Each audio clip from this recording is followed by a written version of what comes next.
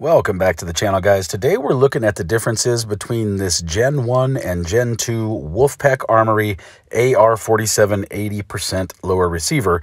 Now, really, the only difference is this pin. They drilled this pin into the, the receiver here. They put a steel pin in. This is not in the Gen 1.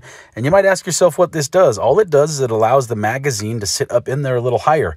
And I can see why they want you to use Magpul magazines because in this view, the Gen 1 is on the right. You can see that the steel magazines have actually chewed up that aluminum just a little bit. So anyway, uh, this does allow the magazine to sit up in the magazine well just a little bit, guys.